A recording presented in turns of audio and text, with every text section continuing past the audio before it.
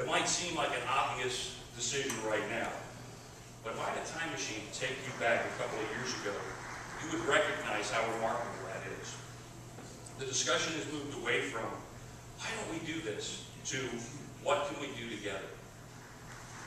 The EDC has an annual workshop with the commission, and this year, Project Innovation was part of that workshop, and your efforts were shown.